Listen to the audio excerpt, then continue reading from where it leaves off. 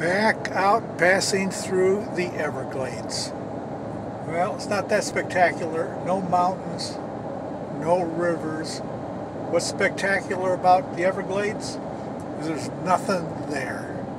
You can you don't have to get that far out of town in South Florida to see vast open spaces with no buildings. And on this side is uh, a like a berm, a dike with Everglades on the other side. So we're going right through the middle of it.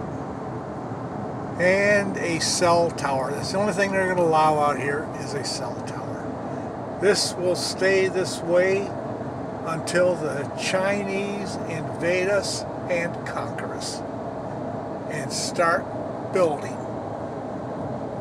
huts for all the workers.